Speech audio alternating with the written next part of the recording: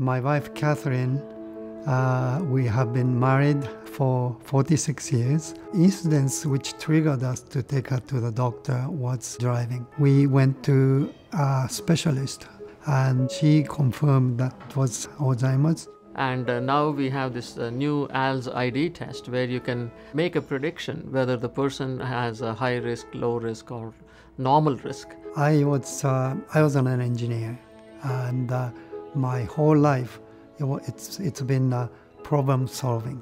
So I apply the skill to coping with Alzheimer's as well.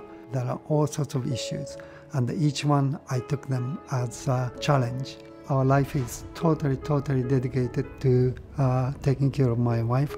It is literally 24 7. So, when it comes to Alzheimer's disease, as soon as you suspect that this may be happening to you, don't wait.